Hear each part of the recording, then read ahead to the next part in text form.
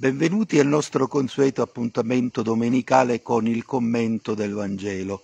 Oggi è 20 agosto e anche la ventesima domenica del tempo ordinario e Marineo, eh, mio paese natio, dove io mi trovo a riposarmi in questo momento, e Marineo festeggia San Ciro. Ieri sera c'è stata la meravigliosa dimostranza lungo le piazze principali e le vie del paese con una grande partecipazione di, di popolo, il popolo marinese sente questo momento come momento importante perché, come diceva padre Laspina, che è stato parroco per tutta la sua vita qui a, a Marineo, e la dimostranza delle, della vita di San Ciro è un monumento scolpito nell'animo dei marinesi ed è proprio così. Per questo, al termine di questo brano del Vangelo che eh, che io adesso leggerò e brevemente commenterò, eh, al, al, al, termine mi soffermerò un pochino su questa, la festa di San Ciro, su San Ciro della dimostranza.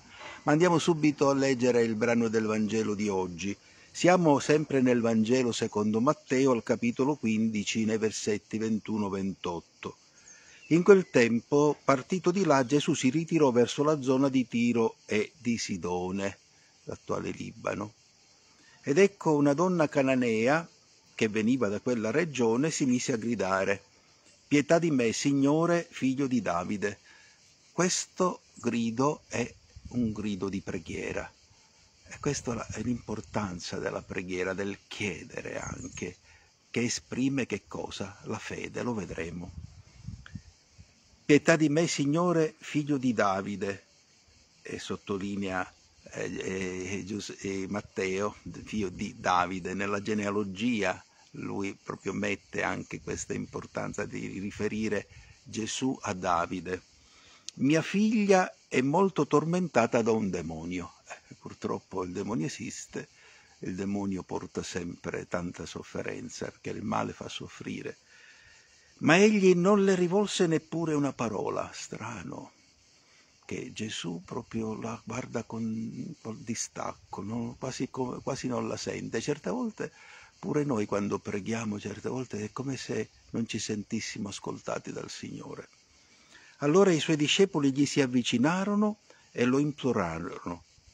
Ecco, è l'intercessione dei santi, l'intercessione degli amici di Gesù, che si avvicinarono e lo implorarono. Ecco la mediazione esaudiscila perché ci viene dietro gridando. Cioè, avevano un interesse particolare a, a far sì che Gesù esaudisse la preghiera di questa donna, perché col suo grido, con la sua insistenza li disturbava. Egli rispose, non sono stato mandato se non alle pecore perdute della casa di Israele. Ecco, innanzitutto Gesù nella sua missione si rivolge ecco, al popolo di Israele. Ma quella si avvicinò e si prostrò dinanzi a lui, ecco si prostrò l'atteggiamento di umiltà profonda, di, di l'umiltà della fede si esprime anche attraverso dei gesti, il mettersi in ginocchio, il prostrarsi, esprime la propria fede nella, nell'autorità, nel riconoscere l'autorità del Signore, dell'autorità di Dio. dicendo Signore aiutami, Signore aiutami.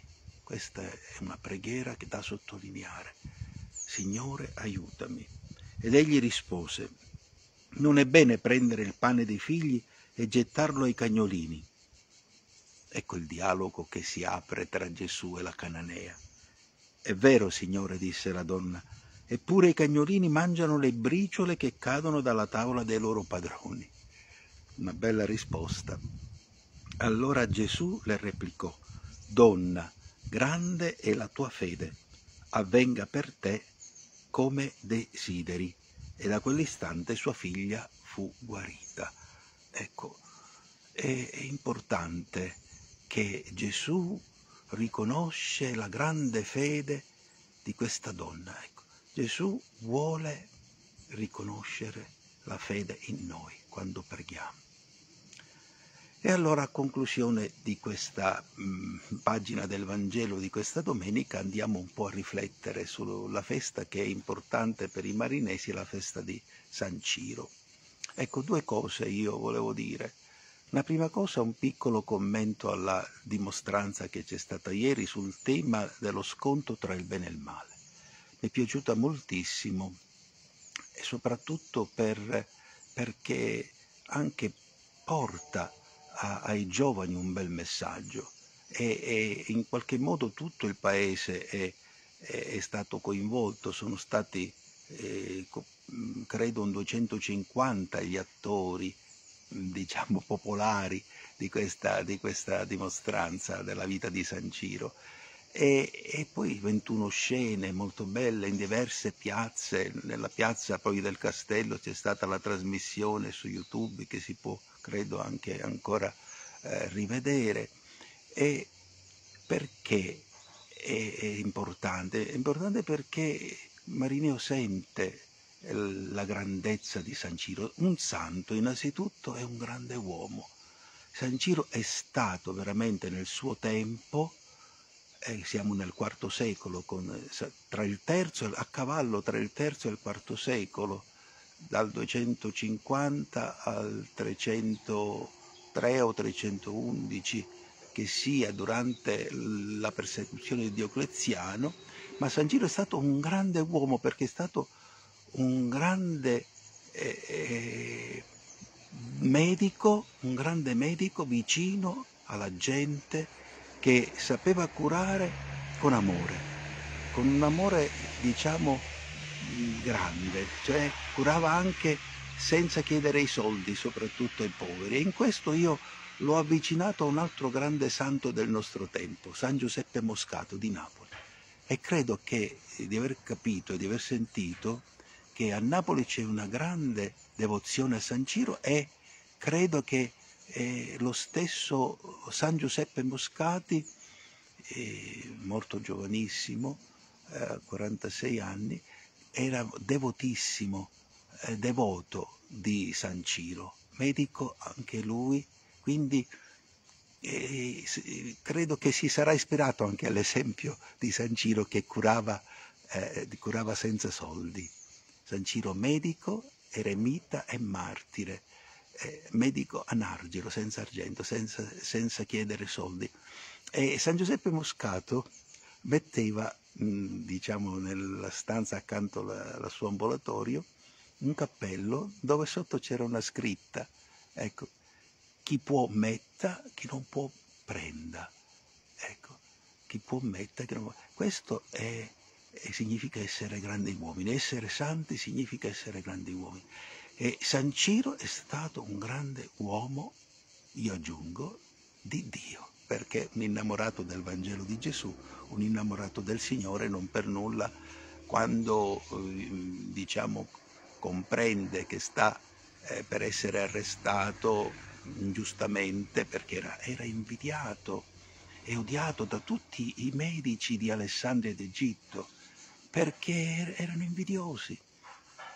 E perché non tutti i medici sono così portati ad amare, a fare il loro il loro, il loro mestiere per amore, ma molti lo fanno per i soldi, lo, fa, lo facevano anche allora, lo fanno a volte anche oggi. Eh, non, non, tutti come, come, San Ciro lo prendevano lì ad Alessandro Egitto come una missione, eh, l'essere medico, l'aiutare gli ammalati a guarire, soprattutto i più poveri. Ecco, San Ciro faceva così, ma anche San Giuseppe Moscati eh, faceva così. Vi invito anche a vedere questo film che hanno fatto su di lui, intitolato Giuseppe Moscati, L'amore che guarisce, l'amore che guarisce.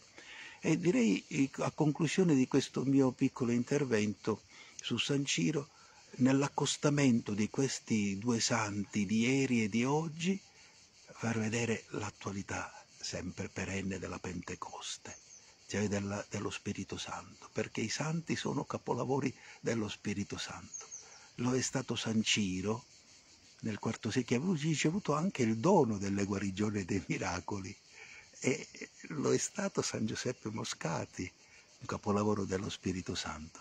Quindi mi piace che eh, in questa festa di San Ciro anche ci sia la possibilità di accostare un santo di ieri e un santo di oggi nella, nel contesto della fede, come il brano del Vangelo di oggi ci ha indicato.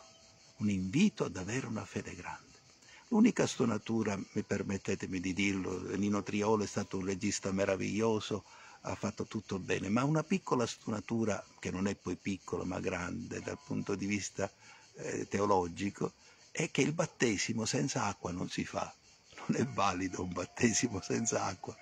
San Ciro quindi, nella dimostranza di ieri sera, non era, più, non era cristiano, non è stato battezzato bene, che si battezza sempre con l'acqua, vabbè, ma questa è una stonatura che va corretta sicuramente, ma eh, non toglie niente alla grandezza e alla bellezza di quello che Nino Triolo ha fatto anche con tutti gli attori eh, ieri nella dimostranza. Grazie per eh, avermi ascoltato e grazie per quella gioia che ci avete dato nella dimostranza di ieri sera.